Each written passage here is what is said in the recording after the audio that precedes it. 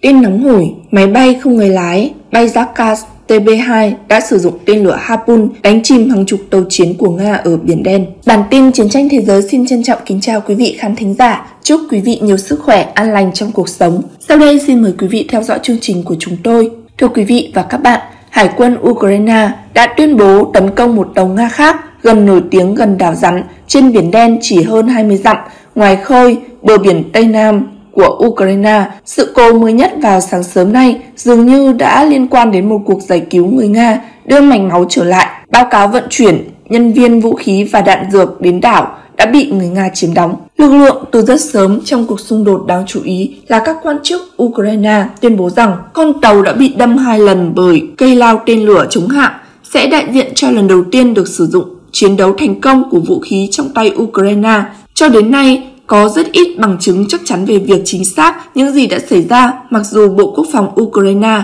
đã có phát hành một cảnh quay từ một con gấu. Máy bay không người lái Acha TB2 mà cố tình hiển thị là sự tương tác mà video xuất hiện xác nhận rằng hai tên lửa riêng biệt đã bắn trúng con tàu. Chính video đó đã được cung cấp để cung cấp tọa độ cho máy bay không người lái để đề cập đặt nó khoảng 20 dặm về phía đông của đảo rắn. Tình trạng của con tàu và phi hành đoàn vẫn chưa xác định khi một người đã xác nhận tài khoản Ukraine tuyên bố rằng 70 trong số phi hành đoàn của tàu ừ, lại bị sát ảnh hưởng.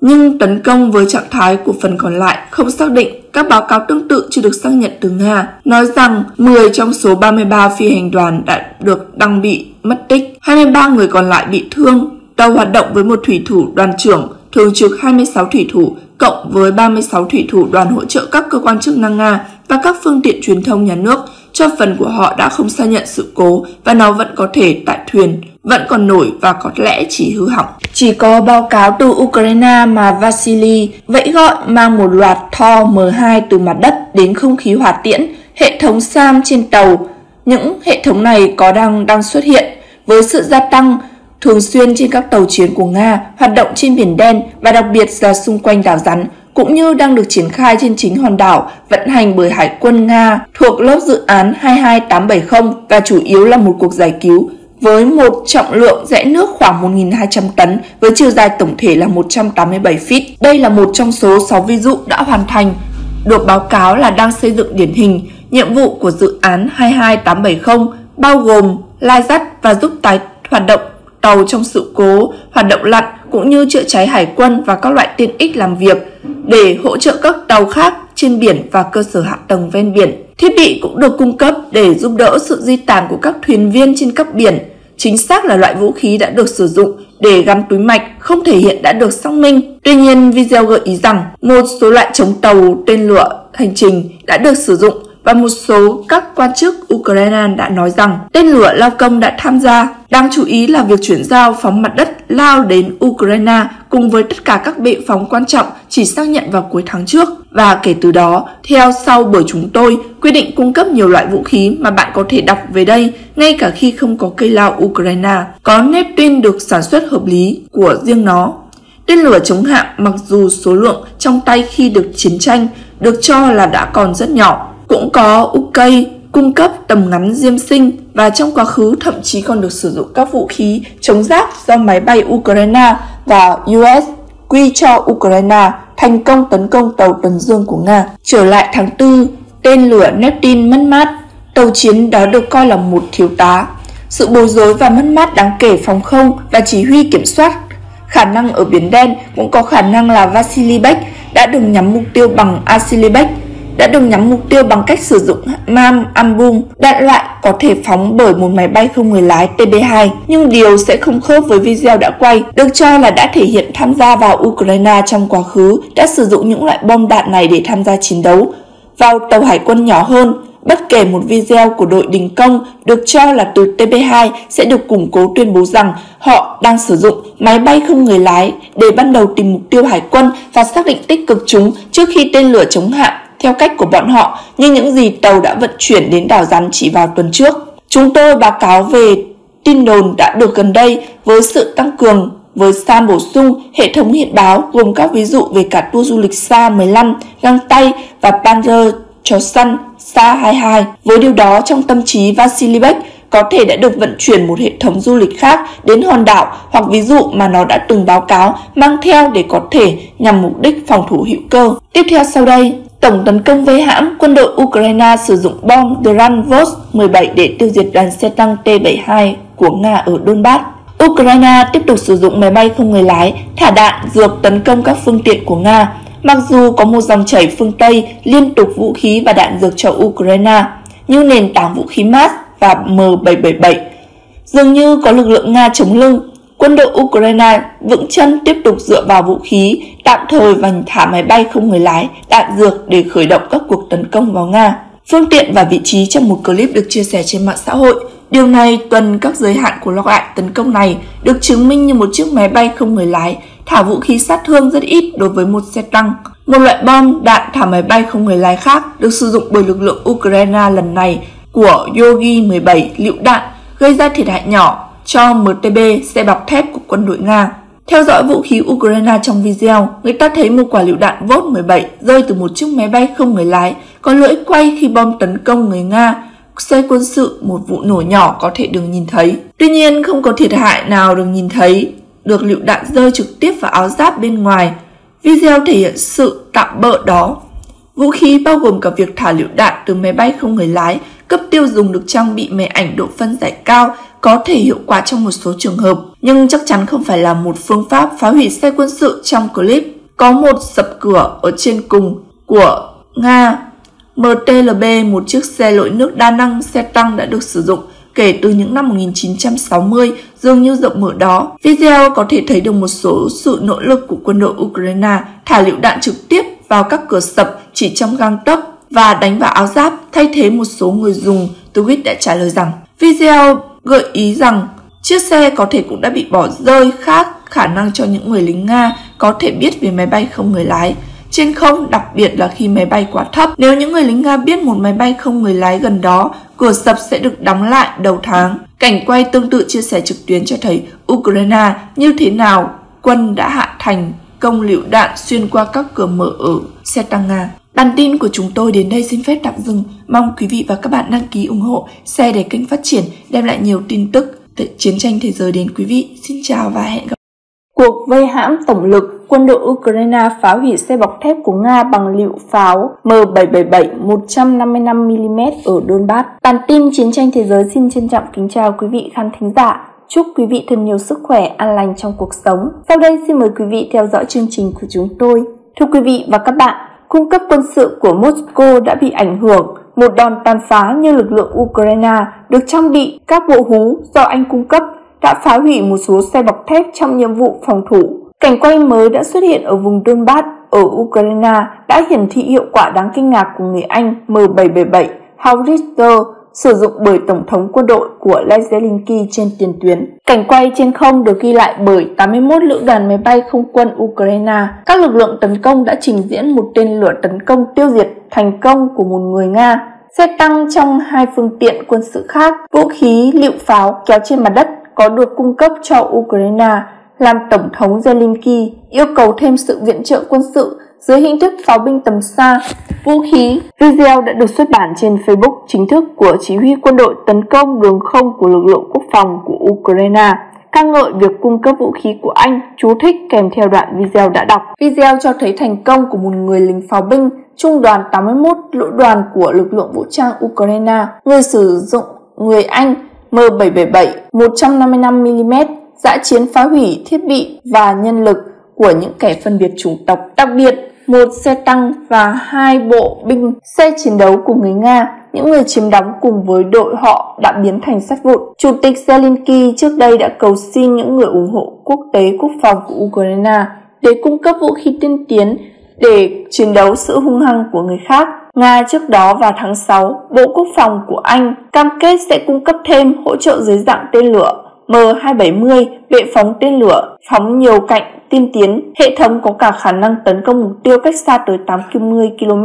với điểm chính xác. Một tuyên bố thông báo về việc gia hạn viện trợ quân sự được bổ sung quyết định của Ben Watley đáp ứng yêu cầu. Từ các lực lượng Ukraine cho tầm xa hơn, vũ khí chính xác là để bảo vệ chính họ từ pháo hạng nặng của Nga đã được sử dụng để tàn phá hiệu ứng ở vùng Donbass. Phía đông, Bộ trưởng Quốc phòng Ben Watley cho biết Anh Quốc sát cánh với Ukraine trong cuộc chiến này và đang đóng vai trò hàng đầu trong việc cung cấp đội quân anh hùng của nó với những vũ khí quan trọng họ cần phải bảo vệ đất nước của họ khỏi những xâm lược vô cớ. Những lần này chạy nhiều khả năng cao trên hệ thống tên lửa sẽ được kích hoạt. Ukraine của chúng tôi, bạn bè để bảo vệ bản thân tốt hơn, chống lại những sử dụng tầm xa một cách tàn bạo. Pháo binh mà lực lượng của Putin đã sử dụng bừa bãi để săn bằng cả một thành phố, theo lời cam kết như Mr. Wallace đã đến thăm Kiev và gặp Chủ tịch Zelensky và Bộ trưởng Bộ Quốc phòng Ukraine Oleksiy Renyuk để thảo luận về việc quân đội bổ sung điều khoản. Vào thứ Sáu, Bộ trưởng Bộ Quốc phòng cũng đã gặp với các Bộ trưởng Quốc phòng NATO khác để tái khẳng định Anh Quốc sẽ hỗ trợ cho Ukraine và gạch chân cam kết chặt chẽ của chúng tôi để bảo vệ mọi nguồn lực quân sự của Moscow đã được bị tàn phá bởi phòng thủ Ukraine. Nỗ lực như quân của Zelensky được củng cố bởi viện trợ quân sự Lan NATO đã khởi động một chiến dịch thành công. Các cuộc tấn công tên lửa vào Kremlin, xe quân sự tình báo cho thấy Tổng thống Putin là đang vật lộn để thay thế thiết bị phá hủy trong cuộc xung đột dưới dạng báo cáo nổi lên từ người Nga tuyên bố ở Ukraine. Lực lượng ngày càng hoạt động với việc sử dụng vũ khí thời Liên Xô lỗi thời, dữ liệu mới nhất từ Oryx A Defense trang web phân tích liệt kê các phương tiện và thiết bị bị phá hủy trong cuộc xung đột như xác minh bằng hình ảnh hoặc video. Bằng chứng báo cáo Nga đã mất đi một ước tính 4.359 xe quân sự trong cuộc xâm lược. Như vậy, bằng cách nào so sánh cùng một tổ chức, tuyên bố Ukraine chỉ mất 1.172 mảnh thiết bị quân sự, bao gồm 196 xe tăng và một Kremlin mất 786 xe tăng. Bản tin của chúng tôi đến đây xin phép tạm dừng. Mong quý vị và các bạn đăng ký ủng hộ, share để kênh phát triển và đem lại nhiều tin tức chiến tranh thế giới đến quý vị. Xin chào và hẹn gặp lại. Tổng tấn công vây hãm, quân đội Ukraine sử dụng bom Dranvos 17 để tiêu diệt đoàn xe tăng T-72 của Nga ở Donbass. Bản tin Chiến tranh Thế giới xin trân trọng kính chào quý vị khán thính giả. Chúc quý vị thật nhiều sức khỏe, an lành trong cuộc sống. Sau đây xin mời quý vị theo dõi chương trình của chúng tôi. Ukraine tiếp tục sử dụng máy bay không người lái thả đạn tấn công các phương tiện của Nga. Mặc dù có một dòng chảy phương Tây liên tục vũ khí và đạn dược cho Ukraine như nền tảng vũ khí MAS và M777, dường như có lực lượng Nga chống lưng, quân đội Ukraine vững chân tiếp tục dựa vào trên vũ khí tạm thời và thả máy bay không người lái đạn, dược để khởi động các cuộc tấn công vào Nga. Phương tiện và vị trí trong một clip được chia sẻ trên mạng xã hội. Điều này tuần các giới hạn của các loại tấn công này được chứng minh như một chiếc máy bay không người lái thả vũ khí sát thương rất ít đối với xe tăng Nga. Một loại bom đạn thả máy bay không người lái được sử dụng bởi lực lượng Ukraine. Lần này là Yogi 17, lựu đạn gây ra thiệt hại nhỏ cho MTLB, xe bọc thép của quân đội Nga. Theo dõi vũ khí Ukraine trong video, người ta thấy một quả lựu đạn VOS 17 rơi từ một chiếc máy bay không người lái. Có lưỡi quay khi bom tấn công người Nga, xe quân sự như một vụ nổ nhỏ có thể nhìn thấy được. Tuy nhiên, không có thiệt hại nào được nhìn thấy, nơi lựu đạn rơi trực tiếp vào áo giáp bên ngoài. Video thể hiện sự tạm bỡ của vũ khí đó, bao gồm cả việc thả lựu đạn từ máy bay không người lái, cấp tiêu dùng được trang bị máy ảnh, độ phân giải cao đều có thể có hiệu quả trong một số trường hợp, nhưng chắc chắn không phải là một phương pháp phá hủy xe quân sự trong clip. Trong clip có một cửa hàng sập ở trên cùng của Nga, MTL, một chiếc xe lội nước đa năng xe tăng đã sử dụng kể từ khi những năm 1960, dường như rộng mở do đó. Video có thể thấy một nỗ lực bởi quân đội Ukraine thả lựu đạn trực tiếp vào cửa sập chỉ trong găng tấc, bỏ lỡ và đánh vào áo giáp thay thế một số người dùng Twitter đã trả lời video bằng cách gợi ý rằng chiếc xe có thể cũng đã bị bỏ rơi khác, khả năng cho những người lính Nga có thể sẽ biết về máy bay không người lái trên không, đặc biệt là khi bay quá thấp. Nếu những người lính Nga biết máy bay không người lái gần đó, cửa sập sẽ tự động đóng lại Đầu tháng này, cảnh quay tương tự chia sẻ trực tuyến cho thấy Ukraine như thế nào quân đã hạ thành công lựu đạn xuyên qua các cửa mở ở Nga. Trong một video được chia sẻ trên phương tiện truyền thông xã hội, dường như được ghi lại từ một lưỡi quay UAV. Cái đó được gọi là bom mồi, được nhìn thấy từ rơi từ máy bay không người lái và hạ cánh trong cửa sập. Những quả bom mồi này thường được sử dụng trong câu cá để thu hút cá. Chúng là những hộp đựng hình quả bom bằng nhựa, thường được chứa đầy mồi và rơi từ một máy bay không người lái, kể từ khi những người Nga xâm lược Ukraine. Tuy nhiên, tháng 2 những quả bom mồi này có sửa được đổi thường xuyên bởi Ukraine. Quân đội thả lựu đạn thay thế cho một quả lựu đạn Ukraine được thả từng một chiếc máy bay không người lái xuống một người lính Nga. Cuộc xâm lược của người Nga vào Ukraine đó bắt đầu vào ngày 24 tháng 2, tiếp tục với thương vong gia tăng ở cả hai bên. Lực lượng Ukraine đang đưa lên kháng chiến sử dụng viện trợ quân sự phương Tây và Chủ tịch Vladimir Zelensky thường xuyên kêu gọi thế giới làm nhiều hơn nữa để giúp được các chính phủ trên toàn cầu có áp đặt và các biện pháp phòng trừ phản nặng nề đối với Moscow. Nhưng đã ngừng trực tiếp can thiệp vì họ sợ châm ngòi cho một cuộc xung đột rộng hơn đã được phát triển hơn một thế kỷ. Ngoài những một sự kết hợp bất thường của công nghệ hàng chục năm tuổi và tiên tiến pháo hạng nặng và điều khiển từ xa máy bay không người lái đang giúp quân đội Ukraine sản xuất xâm nhập vào chiếm đóng phía đông của Nga. Tại Bắc Hú và nặng khác, súng do các thành viên và đồng minh của NATO cung cấp tương tự như các loại vũ khí có mặt hàng chủ lực trên chiến trường. Kể từ sau chiến tranh thế giới, một quả đạn nổ vận động hành lang xa hơn mắt nhìn có thể thấy được. Chúng đang sử dụng để có thể có tác dụng tuyệt vời ngăn chặn các vị trí của Nga và cho phép các cuộc tấn công phản bộ của bộ binh Ukraine trong pháo hạng nặng của vùng Donbass là thường được triển khai chống lại kẻ thù bộ binh và thiết bị nó sử dụng một phương pháp tiếp cận lửa, được điều chỉnh có nghĩa là ngừng thay đổi nhỏ đối với quỹ đạo là được thực hiện giữa mỗi savo cho đến một mục tiêu bị tấn công trong nhiều thập kỷ, có nghĩa là quân đội đã gửi nhân sự ra tiền tuyến và radio hướng dẫn cho các xạ thủ và giảm trở lại tầm quan trọng của pháo binh là được nhấn mạnh bởi các nỗ lực quốc tế nhằm gửi thêm súng và đạn dược đến Ukraine. Với nhiều thành viên NATO đóng góp một số các phiên bản mới nhất và tiên tiến nhất. Trong số những vũ khí này, những chuyên gia nói rằng lực lượng Ukraine là trở nên tốt hơn bằng cách khai thác rộng rãi công nghệ bay không người lái có sẵn để cung cấp dữ liệu giám sát và thời gian thực trên tiếng Nga, mục tiêu và bắn vũ khí hạng nặng của họ. Với độ chính xác chưa từng có, mỗi máy bay không người lái cung cấp cơ hội để tiêu diệt sai quân địch Ivo Venko, người sáng lập Dranos của công ty Ukraine, tư vấn cho chính phủ về mà việc sử dụng máy bay không người lái Aya Kovenko cho biết Quân đội Ukraine đã sử dụng hơn 6.000 máy bay không người lái, phần lớn được sản xuất tại Trung Quốc. Mặc dù thay đổi theo mô hình, hầu hết các phương tiện bay không người lái là thủ công, nhiều roto có sẵn trên các thị trường được sử dụng trong nông nghiệp, truyền thông và các ngành kỹ thuật chúng có thể hoạt động tối đa trong vòng 30 phút và xa tới 7 km, 4,3 dặm vào lãnh thổ của kẻ thù. Các đội nhỏ của binh lính điều khiển máy bay không người lái từ các phương tiện địa hình gần vị trí chuyển tiếp, tuyến trước và dữ liệu địa hình từ các khẩu đội, pháo binh qua các kênh quân sự trên điện tín Eroka. Thành viên chính sách cấp cao thẳng thắn tại Hội đồng châu Âu về quan hệ đối ngoại và một chuyên gia về UAV sử dụng xung đột cho biết quân đội Ukraine đã thể hiện tốt hơn, đổi mới hơn đối thủ Nga của nó trong tích hợp Công nghệ vũ trang của nó phản ứng đó là những gì tạo nên công nghệ mới, có khả năng cách mạng không chỉ nó trong lĩnh vực này, nhưng các bạn sử dụng nó cho máy bay không người lái và được sử dụng với pháo binh.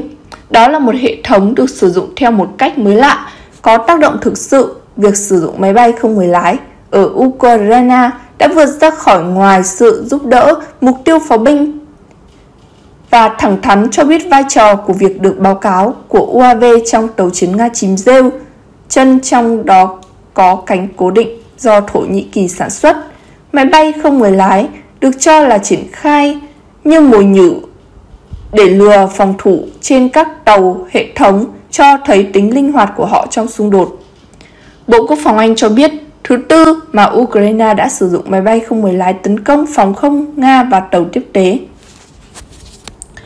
Bản tin của chúng tôi đến đây xin phép tạm dừng. Mong các quý vị và các bạn đăng ký ủng hộ, share để kênh phát triển, đem lại nhiều tin tức chiến tranh thế giới đến quý vị. Xin chào và hẹn gặp lại.